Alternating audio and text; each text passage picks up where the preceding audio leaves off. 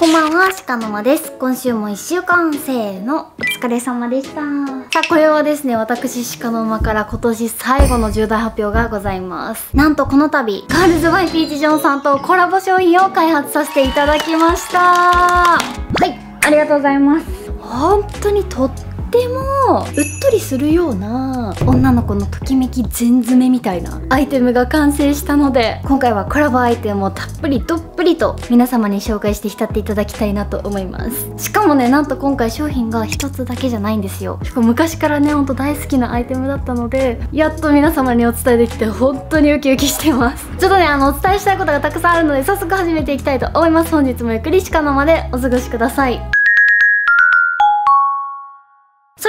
紹介していこうと思うんですけどお伝えしたい情報が山盛りなんで今日はこんな感じで7つに分けて紹介していきたいと思います。まあ最初に発売する商品をざっくり紹介。そして達成した上での感謝の気持ち。そして3つ目がコンセプトどういう思いで作ったかなどなど。でここから商品紹介なんですけど4つ目に下着のレビュー。紹介。そして5つ目にルームウェアの紹介そして6つ目に大変だったので思い出のエピソード。そして最後に販売詳細についてお伝えしていこうと思います。結構情報がタプタプなんでテンポよくお伝えできたらなと思います。それでは早早速何を今回開発したかというと1つ目がこちら。森これ脇高鹿の間ロマンティックブラセットでございます。こちらはですねブラとショーツのセットアイテムなんですが今回ね雰囲気の違った2色展開で開発させていただきました。すごいね繊細なとこまでこだわったのでまた後ほど。そしてもう1つのアイテムがですね今私も着ているんですが鹿の間リブリボンセットアップ全2色でございます。こちらのセットアップはですねこんな感じのルームウェアになっています。今私が着ているからとこちらのチャコールの2色展開です。着心地とか、まあ、流行りのドロスト取り入れたり肩部分オフショルっぽく見せたりとかなりこだわりをねたくさんたくさん詰め込んだので後ほどたっぷり紹介させていただきます。こうやって完成して達成した上での私の気持ちなんですけどやっぱり全部つながってるんですよ。6年前 YouTube を始めた一つの理由としていろいろ挑戦してみたいっていう気持ちもすごく強くってそこからコスメのコラボをしたり雑誌に出させていただいたりテレビのレギュラーをさせていただいたり昔じゃ想像できないぐらいたくさんさんの経験をしてきたんですが去年ね写真集を出したいっていう夢を叶えてそこで私グラビアがすごい好きだったので挑戦したくって初めてね水着撮影をしたんですけどそこからつながって今年の春にヤングマガジンでグラビアのお仕事が来ましてダイエットだったりボディケアもそこからすごい頑張ってて一つずつ新たなね経験につながっていってるんですけどまあそういうねグラビアとかから下着という私からするとねもうすごく夢のようなコラボなのでいつも応援サポートしてくださっている鹿の子様がいたからこそこうやってね一つ一つ経験が増えていっているのでやっぱりね見てくださってる方だったり私を知らなくても手に取ってくださる方にすごいワクワクしてほしいなっていう嫌なことも忘れるようなね自分に自信がつくようなアイテムをやっぱり常にね生み出したいなっていう気持ちを込めて作ったんですが今回素敵な撮影をねしたんですけどこんな感じでちょっとパッと見でね世界観伝わるかなと思うんですけど、まあ、コンセプトっていうのは、まあ、最近バレエコアが流行っているっていうのと私がすごいそういうリボンだとかファッションもそうなんですけど下着となると結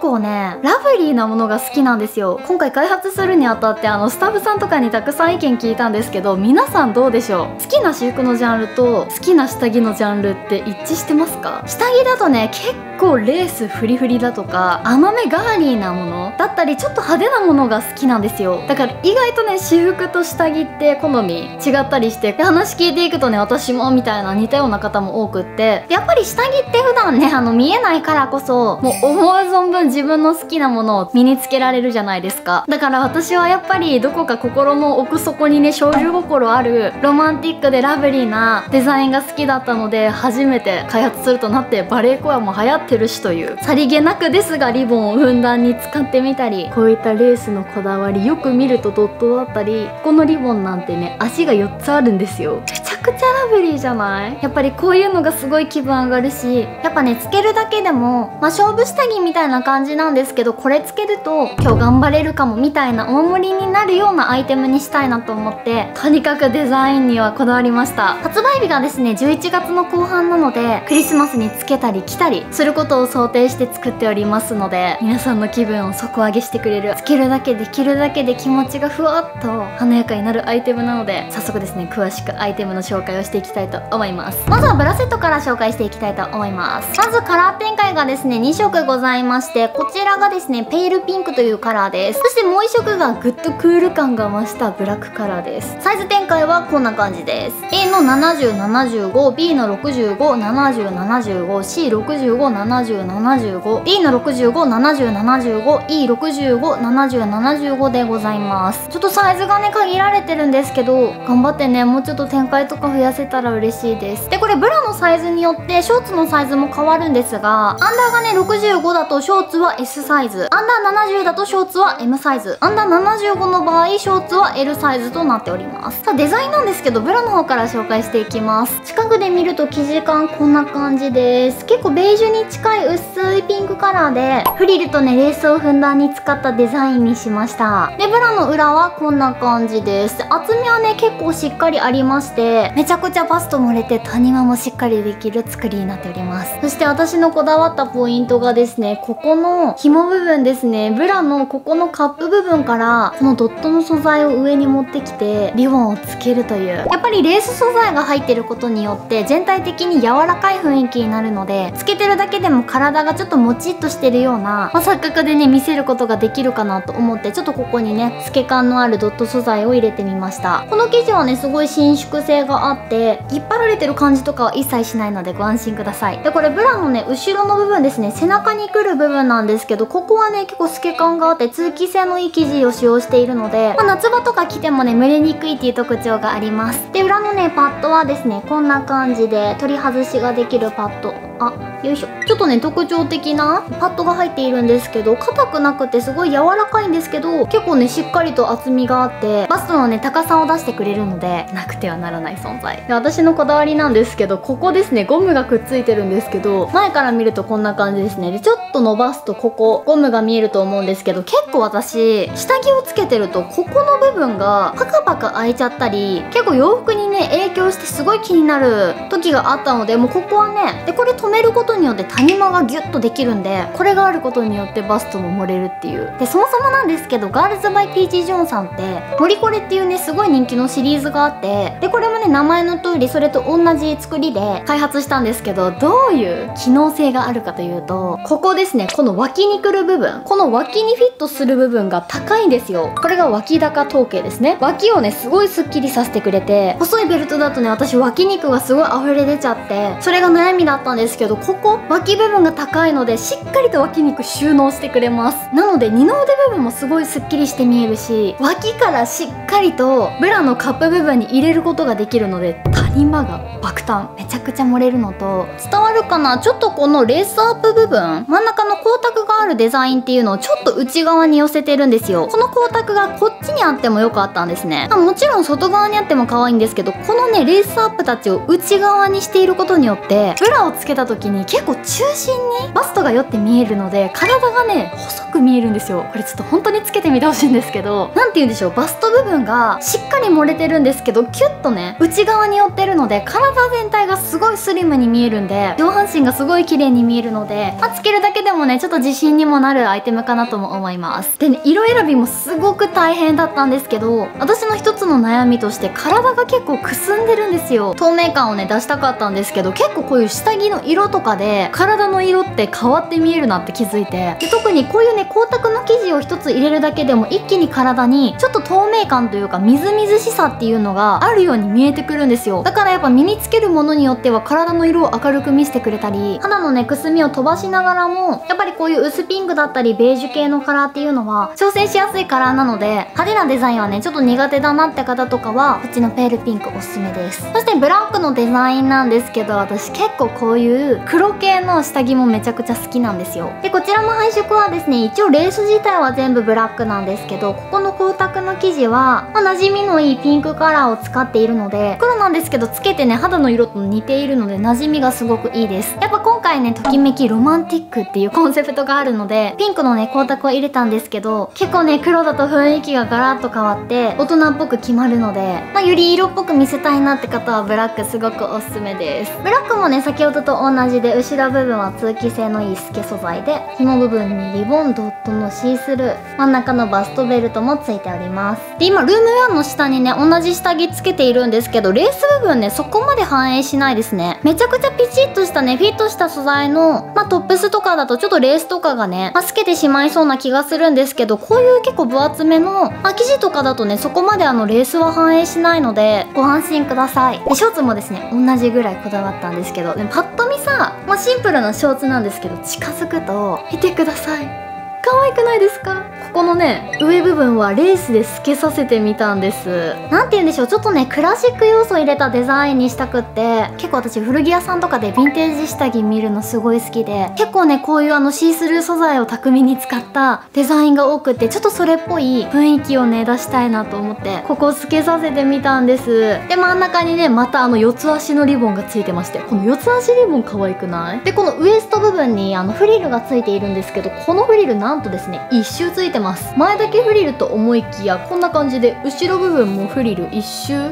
ぐるりとつけてねデコラティブなデザインにしてみたんですがちょっとね痒くなるかなって心配だったんですけどこのドットがねパリパリ系っていうよりもすごい柔らかくってこういう伸縮性がある生地なので全然あの痒くはならないです。でブラックのショーツもこんな感じです。これもちゃんとここ透けてます。可愛くない？ここの透けてる部分のレースはお花なんですけどこのぐるりと一周ついたウエスト周りの上のフリルはですねドットなんですよ。なのであの2つのレースを使いました。4つの足がついたリボン。普通のねリボンでももちろん可愛いんですけどやっぱこういうリボンの足がねもう1個ついてることによってちょっとデザイン性が高く見えるじゃないですか。ちょっとこれもねあの予算的にできるか怪しかったんですけどすごい私がもうわがままを言って4足のリボンにしていただきました。本当にありがとうございます。やっぱ隙があることによって色っぽさが出るんですがどちらかというと私はクラシカルな雰囲気を出したかったのでこの透けにしてみました。いやらしくない私は上品なデザインにしたかったのでこのさりげない透け感っていうのをねぜひ特別な日に楽しんでいただきたいです。つけ心地はですね結構しっかりホールドしてくれるような安心感のあるがっちりとしたつけ心地なんですけど、まあ、デイリーでももちろん使えますしなんですけど私はね特別な日とか、まあ、お守りとして使っていただきたいのでやっぱね可愛くて漏れた下着をつけると自信にもなるし胸張って過ごせるので、まあ、そういうお守り感覚でねぜひつけてほしいなとと思います、まあ、の販売がねあのクリスマスの半月前なのでつけてほしいなので想像しながら作りました。リボンとかねふんだんに使っているのであの私がクリスマスプレゼントですよみたいなちょっとギフト感覚のあるプラセットでもあるのであセットアップの方もリボンふんだんに使ってるんですけど。そうあとね肩紐とかもねちょっとピンクにしたかったんですけどまあ見えた時もね、まあ、下着の紐感は出ないので、まあ、この辺もね見えた時用にこだわりました。皆さんのね自信がアップするような品になったら嬉しいです。そして続いてがですね今私が着ていますルームウェアの紹介していきます。はいルームウェアのカラー展開はですね私が今着用しておりますピンクとこちらのチャコールカラーの2色展開でございます。サイズはですね SM サイズと ML サイズの2サイズ展開です。さまず生地感からね見ていただきたいんですけど生地の厚さはですね厚すぎず薄すぎずという感じでまあ冬でね1枚できるとちょっとね薄く感じる方もいるかもしれないんですが季節問わずね気軽に使えるようなルームウェアアが欲しかったのでこの絶妙なリブ素材を選びました。リブ素材なのですごく軽くって旅行とかお泊まりでも持っていきやすいです。やっぱお家ではね快適に過ごしたかったので生地はすごく柔らかく伸縮性のある生地を選んでます。裏向けるとこんな感じです。特にね裏地がついてるわけでもなく肌触りがねすごくいいのでこれ1枚でさらっと着ても不快感がありません。でサイズ感なんですが見えますかね？全身で見るとこんな感じでございます。手を下ろした状態だとね若干萌え袖ぐらいになりますね。でもこうやってね手曲げて作業したりするときはいい感じにこの手首ラインにくるので邪魔にもなりにくいです。でボトムスの長さがこんな感じです。ちょっと股がねゆったりとしているのでちょっと丈をもうちょっと上げたい時はしっかり上げてハイウエストにすることもできます。私がハイウエスト状態にするとちょうど足首ぐらいまでの長さですね。でゆっくりお腹部分で緩く切るとちょっとゾロビクぐらいの長さになります。でボトムスのデザ材なんですけどこんな感じで側面部分にリボンがついていましてこれは自分でね結んだり外したりすることができてここをね結ぶことによってちょっと後ろと前がギュッとね縮まるのですごく若干なんですけど絞られてよりフィットするような形になります。まあ、全部でリボンはね3つあるんですけど、まあ、一番下のリボンもですね地面につくほどの長さではないのでついててね動きにくいとか問題はありません。もうリボンめんどくさいってなった状態もこのままでもう外して履いちゃっても正直いいです。紐外した状態でもねそこまでうるさくはないので、ま、特別な日とかだけね可愛くリボンをしっかり結んであげて。でもね言うて生地がリブなんでツルツルとした生地じゃないのでリボンしたらねあんまり外れないですねしっかり結ぶと。なので何回もねリボンしないといけないのがめんどくさいって思う方もですね意外とあのしっかり固定されるのでご安心ください。そしてウエスト周りのデザインはこんな感じです。もうシンプルにゴムが入っていてゴムもねきつくなくてゆるっとしたゴムなのでお腹いっぱいご飯食べることもできます。そしてお尻のデザインはこんな感じです。結構お尻部分もねゆとりがあるデザインなのであまりねパツパツせず動きやすいと思います。これがピンクの上下セット。ここのねドロストを解除したバージョンだと長さがこんな感じでちょっとゆったり。めに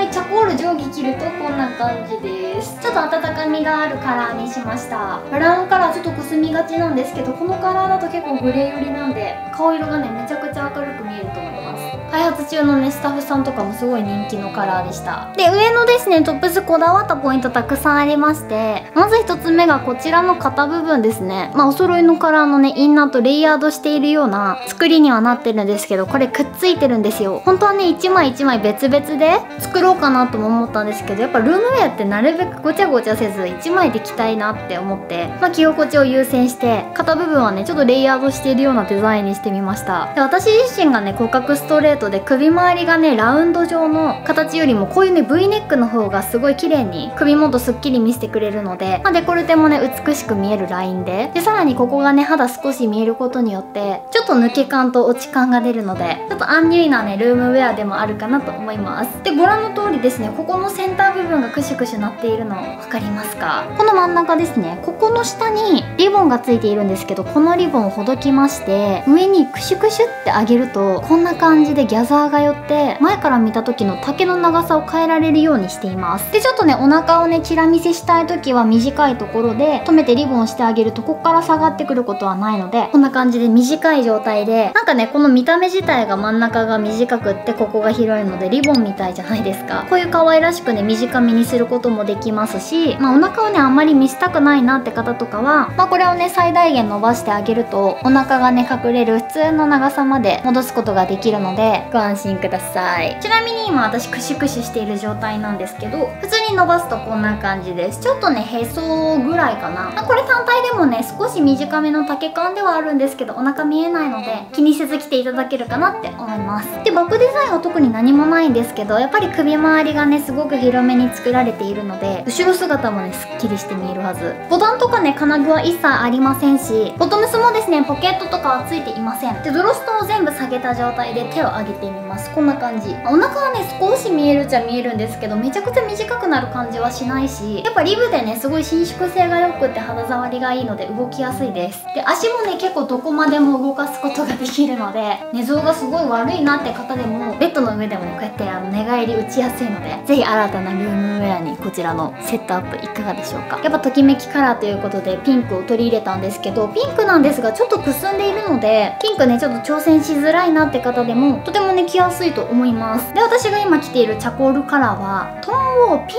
クっぽいカラーも入れてもらってるんですよね。なのでねちょっと温かみのあるようなグレージュブラウンみたいなカラーなんですよ。だから顔色もねすごい綺麗に見えるしけどこっちのピンクよりもしっかりと色がついているので結構ねパキッとしているから顔とかもメリハリつけてくれるんで、まあ、全体的にのっぺり感が出ないのはチャコールかなと思います。結構マジでどっちのカラーもおすすめ。やっぱりお家の中でもねすっぴんボサボサやけどふとね鏡に映った時にルームウェアが可愛いとちょっとスキンケア今日頑張ろうかなって思えたりもするじゃないですか、まあ、そんな日々のね活力になる可愛いアイテムでもあるので長いシーズンで着れるようなルームウェアがあるといいなと思って、まあ、季節問わず着れるようなリブを選びました。なんか親友だとか友達とねお揃いで色違いで着ても可愛いと思いません。なんか誕生日旅行の時とかにこっちの片方をプレゼントして一緒によりね、まあ、ケーキ食べながら過ごすだとか色どちらも可愛いので、ね、すごく悩むと思うんですがどちらもね顔色すごく綺麗に見えるのでぜひぜひゲットしてみてください。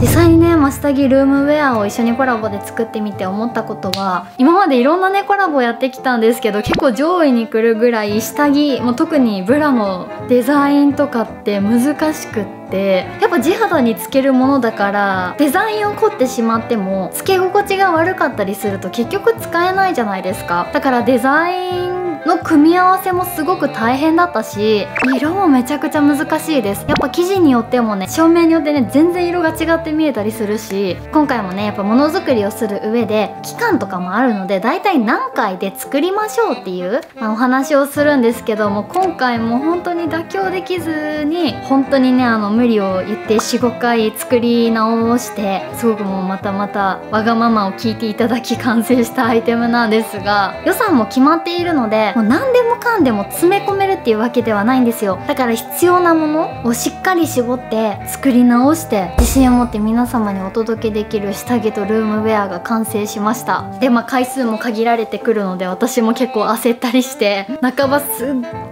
ごくハラハラしたんですけどすごいマネージャーさんたちもたくさん動いてくれてこんなに可愛いものが完成しました、まあ、いつからかですね年に1回は何かコラボアイテムをね作りたいっていう夢ができまして、まあ、今年もムックボンカラコントを作ったんですけどここに下着が入りましてちょっとまた今までと違ったジャンルだったのでもう作っていてすごく楽しかったです。でちょっと作っていく上でなんかまたこういうのも欲しいなみたいな浮かんできたのでまたまた新たなねブラ作りとかにつながったら嬉しいなって思ってます。とっても楽しい経験でした。でここからね皆様の手に渡ってどういう感想が聞けるのかドキドキしながら販売まで待ちたいと思います。そして最後に販売詳細についてなんですけれども発売日がですね11月27日の水曜日でございます。今回はですね店舗とウェブでの販売になるんですが12時スタートです。店舗によってはねオープン時間違ったりするのでちょっとね12時前後するところもあるかもしれません。多分通販で買うのがね心配だなって思う方もいらっしゃると思うんですがネットで購入した場合でも返品交換可能でしてさらに初めての購入の方は送料が無料です。なのでね店舗行くの間に合わないなって方とかはぜひぜひ通販もチェックしていただけると嬉しいです。でオフラインの店舗販売なんですが取扱店舗での在庫状況っていうのが概要欄に貼り付けてある URL からページに飛ぶと店舗の在庫を見るっていうボタンがあるのでそこを押すと在庫状況ね確認できるので調べてみてください。公式サイトでね初めて購入するよって方は登録登録した時に500ポイントなどももらえるので結構お得です。ぜひぜひチェックしてみてください。そして金額なんですがロマンティックブラセットが税込3500円。そしてリブリボンセットアップが税込で6000円でございます。一応ね全部伝えきったのは伝えきったんですけど皆さんもね多分気になる点出てきたりすると思うので今からですねインスタグラムのストーリーの方でこのコラボ商品について質問箱を開くので気になった方は気軽に書き込んでみてください。回答お待ちしております。それでは今日はこの辺にしておきたいと思います。最後までご視聴いただきありがとうございました。それでは次回の動画でお会いしましょう。バイバイ。